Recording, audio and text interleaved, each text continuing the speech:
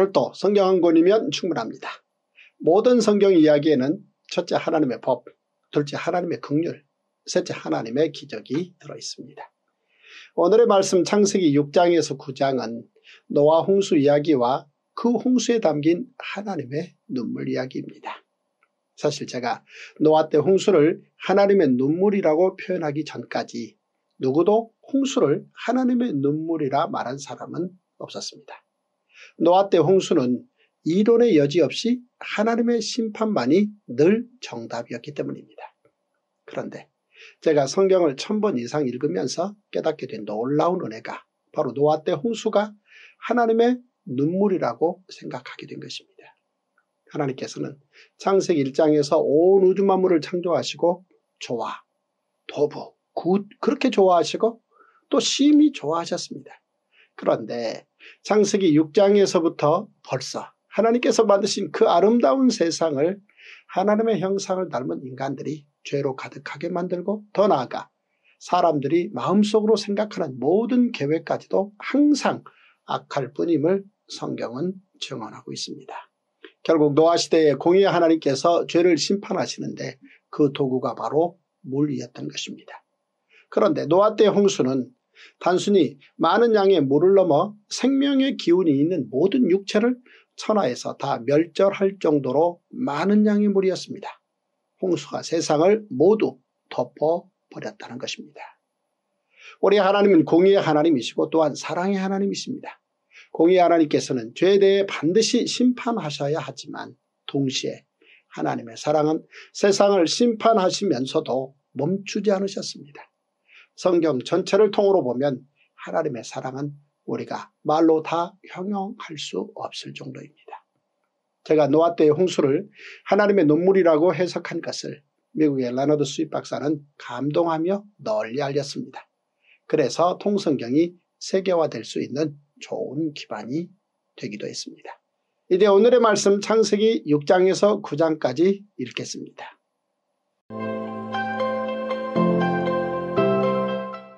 제3일 창세기 6장 사람이 땅 위에 번성하기 시작할 때에 그들에게서 딸들이 나니 하나님의 아들들이 사람의 딸들의 아름다움을 보고 자기들이 좋아하는 모든 여자를 아내로 삼는지라. 여호와께서 이르시되 나의 영이 영원히 사람과 함께 하지 아니하리니 이는 그들이 육신이 됨이라. 그러나 그들의 날은 120년이 되리라 하시니라. 당시의 땅에는 네피림이 있었고 그 후에도 하나님의 아들들이 사람의 딸들에게로 돌아와 자식을 낳았으니 그들은 용사라 고대의 명성이 있는 사람들이었더라. 여호와께서 사람의 죄악이 세상에 가득함과 그의 마음으로 생각하는 모든 계획이 항상 악할 뿐임을 보시고 땅 위에 사람 지으셨음을 한탄하사 마음에 근심하시고 이르시되 내가 창조한 사람을 내가 지면에서 쓸어버리되 사람으로부터 가축과 기는 것과 공중의 새까지 그리하리니 이는 내가 그것들을 지었음을 한탄함이니라 하시니라. 그러나 노아는 여호와께 은혜를 입었더라. 이것이 노아의 족보니라. 노아는 의인이요 당대의 완전한 자라. 그는 하나님과 동행하였으며 새 아들을 낳았으니 샘과 함과 야벳이라. 그때 온 땅이 하나님 앞에 부패하여 포악함이 땅에 가득한지라. 하나님이 보신즉 땅이 부패하였으니 이는 땅에서 모든 혈육 있는 자의 행위가 부패함이었더라. 하나님이 노아에게 이르시되 모든 혈육 있는 자의 포악함이 땅에 가득하므로 그 끝날이 내 앞에 이르렀으니 내가 그들을 땅과 함께 멸하리라. 너는 고페르 나무로 너를 위하여 방주를 만들되 그 안에 칸들을 막고 역청을 그 안팎에 칠하라. 내가 만들 방주는 이러하니 그 길이는 300규빗 너비는 50규빗 높이는 30규빗이라. 거기에 창을 내되 위에서부터 한 규빗에 내고 그 문은 옆으로 내고 상중하 3층으로 할지니라. 내가 홍수를 땅에 일으켜 모로 생명의 기운이 있는 모든 육체를 천하에서 멸절하리니 땅에 있는 것들이 다 죽으리라. 그러나 너와는 내가 내 언약을 세우리니 너는 내 아들들과 내 아내와 내 며느리들과 함께 그 방주로 들어가고 혈육 있는 모든 생물을 너는 각기 암수 한 상씩 방주로 이끌어들여 너와 함께 생명을 보존하게 하되 새가 그 종류대로 가축이 그 종류대로 땅에 기는 모든 것이 그 종류대로 각기 둘씩 내게로 나아오리니 그 생명을 보존하게 하라. 너는 먹을 모든 양식을 내게로 가져다가 저축하라. 이것이 너와 그들의 먹을 것이 되리라. 노아가 그와 같이 하여 하나님이 자기에게 명하신 대로 다 준행하였더라. 창세기 7장 여호와께서 노아에게 이르시되 너와 내 온 집은 방주로 들어가라. 이 세대에서 내가 내 앞에 의로움을 내가 보았음이니라. 너는 모든 정결한 짐승은 암수 일곱씩 부정한 것은 암수 둘씩을 내게로 데려오며 공중의 새도 암수 일곱씩을 데려와 그 씨를 온 지면에 유전하게 하라. 지금부터 7일이면 내가 40주야를 땅에 비를 내려 내가 지은 모든 생물을 지면에서 쓸어버리리라. 노아가 여호와께서 자기에게 명하신 대로 다 준행하였더라. 홍수가 땅에 있을 때에 노아가 600세라. 노아는 아들들과 아내와 며느리들과 함께 홍수를 피하여 방주에 들어갔고 정결한 짐승과 부정한 짐승과 새와 땅에 기는 모든 것은 하나님이 노아에게 명하신 대로 암수 둘씩 노아에게 나와 방주로 들어갔으며 7일 후에 홍수가 땅에 덮이니 노아가 600세 되던 해 둘째 달 곧 그달 열일의 날이라. 그날에 큰 기품의 샘들이 터지며 하늘의 창문들이 열려 40주야를 비가 땅에 쏟아졌더라. 곧 그날에 노아와 그의 아들 샘, 함, 야백과 노아의 아내와 세 며느리가 다 방주로 들어갔고 그들과 모든 들짐승이 그 종류대로 모든 가축이 그 종류대로 땅에 기는 모든 것이 그 종류대로 모든 새가 그 종류대로 무릇 생명의 기운이 있는 육체가 둘씩 노아에게 나와 방주로 들어갔으니 들어간 것들은 모든 것의 암수라. 하나님이 그에게 명하신 대로 들어가매 여호와께서 그를 들여보내고 문을 닫으시니라. 홍수가 땅에 40일 동안 계속된지라. 물이 많아져 방주가 땅에서 떠올랐고 물이 더 많아져 땅에 넘침에 방주가 물 위에 떠 다녔으며 물이 땅에 더욱 넘침에 천하의 높은 산이 다 잠겼더니 물이 불어서 15규빗이나 오르니 산들이 잠긴지라. 땅 위에 움직이는 생물이 다 죽었으니 곧 새와 가축과 들짐승과 땅에 기는 모든 것과 모든 사람이라. 육지에 있어 그 코에 생명의 기운이 숨이 있는 것은 다 죽었더라. 지면의 모든 생물을 쓸어버리시니 곧 사람과 가축과 기는 것과 공중의 새까지라. 이들은 땅에서 쓸어버림을 당하였으되 오직 노아와 그와 함께 방주에 있던 자들만 남았더라. 물이 150일을 땅에 넘쳤더라. 창세기 8장 하나님이 노아와 그와 함께 방주에 있는 모든 들짐승과 가축을 기억하사 하나님의 바람을 땅 위에 불게 하심에 물이 줄어들었고 기품의 샘과 하늘의 창문이 닫히고 하늘에서 비가 그침에 물이 땅에서 물러가고 점점 물러가서 150일 후에 줄어들고 일곱째 달 곧 그 달 열일의 날에 방주가 아라라산에 머물렀으며 물이 점점 줄어들어 열째 달 곧 그 달 초하루 날에 산들의 봉우리가 보였더라. 40일을 지나서 노아가 그 방주에 낸 창문을 열고 까마귀를 내놓음에 까마귀가 물이 땅에서 마르기까지 날아 왕래하였더라. 그가 또 비둘기를 내놓아 지면에서 물이 줄어들었는지를 알고자 하며 온 지면에 물이 있으므로 비둘기가 발붙일 곳을 찾지 못하고 방주로 돌아와 그에게로 오는지라. 그가 손을 내밀어 방주한 자기에게로 받아들이고 또 7일을 기다려 다시 비둘기를 방주에서 내놓음에 저녁 때 비둘기가 그에게로 돌아왔는데 그 입에 감람나무 새 잎사귀가 있는지라. 이에 노아가 땅에 물이 줄어든 줄을 알았으며 또 7일을 기다려 비둘기를 내놓음에 다시는 그에게로 돌아오지 아니하였더라. 601년 첫째 달 곧 그 달 초하룻날에 땅 위에서 물이 거친지라. 노아가 방주 뚜껑을 제치고 본즉 지면에서 물이 거쳤더니 둘째 달 스무일의 날에 땅이 말랐더라. 하나님이 노아에게 말씀하여 이르시되 너는 내 아내와 내 아들들과 내 며느리들과 함께 방주에서 나오고 너와 함께한 모든 혈육 있는 생물 곧 새와 가축과 땅에 기는 모든 것을 다 이끌어내라. 이것들이 땅에서 생육하고 땅에서 번성하리라 하심에 노아가 그 아들들과 그의 아내와 그 며느리들과 함께 나왔고 땅 위의 동물 곧 모든 짐승과 모든 기는 것과 모든 새도 그 종류대로 방주에서 나왔더라. 노아가 여호와께 제단을 쌓고 모든 정결한 짐승과 모든 정결한 새 중에서 제물을 취하여 번제로 제단에 드렸더니 여호와께서 그 향기를 받으시고 그 중심에 이르시되 내가 다시는 사람으로 말미암아 땅을 저주하지 아니하리니 이는 사람의 마음이 계획하는 바가 어려서부터 악함이라. 내가 전에 행한 것 같이 모든 생물을 다시 멸하지 아니하리니 땅에 있을 동안에는 심음과 거둠과 추위와 더위와 여름과 겨울과 낮과 밤이 쉬지 아니하리라. 창세기 9장 하나님이 노아와 그 아들들에게 복을 주시며 그들에게 이르시되 생육하고 번성하여 땅에 충만하라. 땅의 모든 짐승과 공중의 모든 새와 땅에 기는 모든 것과 바다의 모든 물고기가 너희를 두려워하며 너희를 무서워하리니 이것들은 너희의 손에 붙였음이니라. 모든 산 동물은 너희의 먹을 것이 될지라. 채소같이 내가 이것을 다 너희에게 주노라. 그러나 고기를 그 생명되는 핏째 먹지 말 것이니라. 내가 반드시 너희의 피 곧 너희의 생명의 피를 찾으리니 짐승이면 그 짐승에게서 사람이나 사람의 형제면 그에게서 그의 생명을 찾으리라. 다른 사람의 피를 흘리면 그 사람의 피도 흘릴 것이니 이는 하나님이 자기 형상대로 사람을 지으셨음이니라. 너희는 생육하고 번성하며 땅에 가득하여 그 중에서 번성하라 하셨더라. 하나님이 노아와 그와 함께한 아들들에게 말씀하여 이르시되 내가 내 언약을 너희와 너희 후손과 너희와 함께한 모든 생물 곧 너희와 함께한 새와 가축과 땅의 모든 생물에게 세우리니 방주에서 나온 모든 것곧 땅의 모든 짐승에게니라. 내가 너희와 언약을 세우리니 다시는 모든 생물을 홍수로 멸하지 아니할 것이라. 땅을 멸할 홍수가 다시 있지 아니하리라. 하나님이 이르시되 내가 나와 너희와 및 너희와 함께하는 모든 생물 사이에 대대로 영원히 세우는 언약의 증거는 이것이니라. 내가 내 무지개를 구름 속에 두었나니 이것이 나와 세상 사이의 언약의 증거니라. 내가 구름으로 땅을 덮을 때에 무지개가 구름 속에 나타나면 내가 나와 너희와 및 육체를 가진 모든 생물 사이에 내 언약을 기억하리니 다시는 물이 모든 육체를 멸하는 홍수가 되지 아니할지라.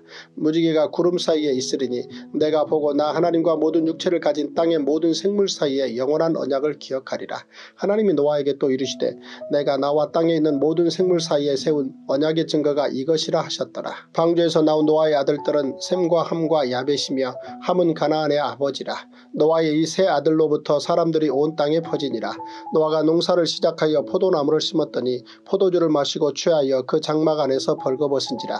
가나안의 아버지 함이 그의 아버지의 하체를 보고 밖으로 나가서 그의 두 형제에게 알림해 샘과 야벳이 옷을 가져다가 자기들의 어깨에 메고 뒷걸음쳐 들어가서 그들의 아버지의 하체를 덮었으며 그들의 얼굴을 돌이키고 그들의 아버지의 하체를 보지 아니하였더라. 노아가 술이 깨어 그의 작은 아들이 자기에게 행한 일을 알고 이에 이르되 가나안은 저주를 받아 그의 형제의 종들의 종이 되기를 원하노라 하고 또 이르되 셈의 하나님 여호와를 찬송하리로다. 가나안은 셈의 종이 되고 하나님이 야벳을 창대하게 하사 셈의 장막에 거하게 하시고 가나안은 그의 종이 되게 하시기를 원하노라 하였더라. 홍수 후에 노아가 350년을 살았고 그의 나이가 950세가 되어 죽었더라.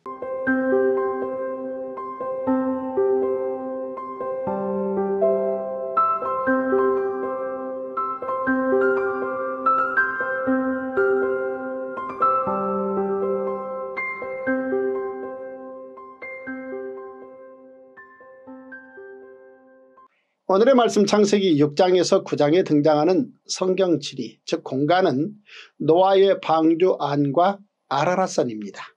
그리고 등장인물은 노아와 노아의 세 아들 셈, 함, 야벳입니다. 노아의 방주 즉 Noah's Ark의 구조는 길이 135m, 폭 22.5m, 높이 13.5m의 3층 구조입니다. 학자들은 이 정도 크기의 선박이라면 4만 3천 톤 이상을 실을 수 있었을 것으로 추측합니다. 방주의 크기가 이 정도 선박이라면 대략 육지동물 17,600종으로 암수 한 쌍씩 4만 5천 마리가 충분히 들어갈 수 있으며 짐승뿐 아니라 노아의 식구들과 식량, 앞으로 번식할 동물들도 모두 충분히 보호할 수 있는 크기로 추정됩니다. 하나님께서 노아에게 주신 설계도에 따르면 방주는 놀라운 안전성을 가지고 있었습니다. 방주의 재료는 고페르 나무였는데 이 고페르 나무는 고대 배를 제작할 때 사용했던 나무의 종류로 천년 동안 썩지 않고 보존될 수 있는 튼튼한 목재라고 합니다. 또한 하나님께서는 방주의 완벽한 방수 처리를 위해 역청을 사용하게 하셨습니다. 그리고 하나님께서는 홍수가 120년 후에 발생할 것이라 말씀하시므로 그 기간에 노아가 방주를 준비할 수 있게 하셨습니다. 노아의 홍수 이야기를 살펴보면 홍수가 시작되기 7일 전에 노아의 8명의 가족과 모든 짐승이 방주에 들어갔고 홍수가 시작된 2월 17일부터 150일이 지난 7월 17일에 방주는 무사히 아라라산에 정박했습니다. 물이 가만 기간 150일, 땅이 마른 70일 후 노아의 8명의 가족과 모든 짐승이 방주에서 나왔습니다. 그러므로 방주에서 지낸 기간은 대략 1년 12일 정도입니다. 방주가 도착한 아라라산의 위치는 대략 터키, 러시아, 이란 국경 근처 터키 동부의 반호수 지방으로 추정됩니다. 이곳의 높이는 약 5160m로 오늘날에도 아라라지라 불리는 해발 5160m의 산을 가리키는 것으로 보는 견해가 가장 유력합니다.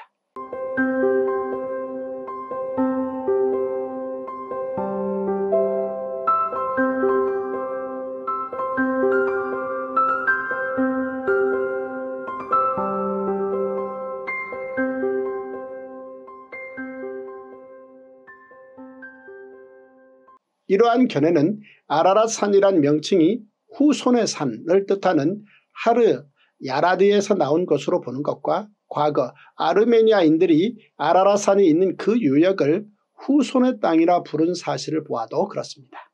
또한 페르시아 전설에서도 이곳을 인류의 요람이라 하였고 특히 아라라산을 노아의 산이라 부르며 그 근처에 후손의 첫 땅이라는 도시가 있다는 사실은 이곳이 노아의 방주가 머물렀고 여기서부터 노아의 후손들이 각 지역으로 흘러갔을 가능성을 높여줍니다.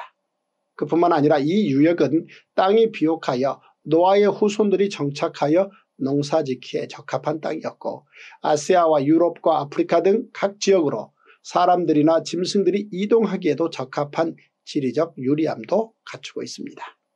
노아 홍수 이후에 성경에 등장하는 아라라산 혹은 아라라 땅에 관한 기록은 열왕기하 19장 37절, 이사야 37장 38절 그리고 바벨론에 대한 심판 메시지인 예레미야 51장 27절에도 등장합니다. 오늘 우리는 세상이 죄로 가득하고 사람들이 마음속으로 생각하는 모든 계획까지도 항상 악하였던 시대에도 오직 하나님만을 믿고 말씀에 순종하여 하나님의 눈물을 그의 이마에 땀으로 닦아냈던 하나님의 사람 노아를 만났습니다. 노아 홍수 이전까지 세상에는 큰 비가 온 적이 한 번도 없었습니다. 그런데도 노아는 하나님의 말씀을 믿고 그 말씀을 준행하기 위해 엄청난 수고의 땀을 흘렸던 것입니다. 하나님께서는 홍수 노아의 번제를 받으시고 다시는 홍수로 땅을 멸하시지 않겠다는 약속의 증표로 무지개를 보여주십니다. 이 무지개의 언약은 하나님께서 주신 은혜의 언약이었습니다. 성경을 열면 기적이 열립니다. 성경 한 권이면 충분합니다. 와우!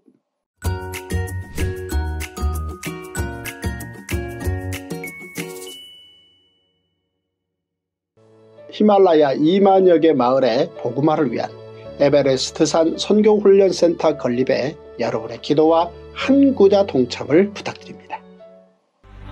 Dr. James O. Davis, the founder and president of Global Church Network, has repeatedly said, For my entire life, I've heard about the underground church in the Middle East, but now it is time to hear about the upper ground church in the Himalayan mountains.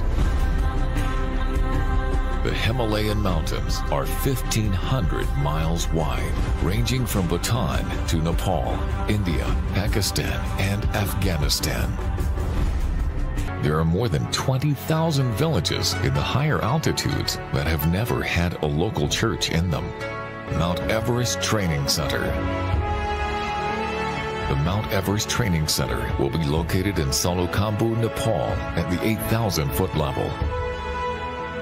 Salokambu has a population of more than 110,000 people. The training center is just seven miles from the Everest Base Camp at 17,500 feet and 15 miles from Mount Everest Peak, which is at 29,032 feet. In addition to training leaders during the week, the Mount Everest Training Center will serve as a phenomenal church on the weekends.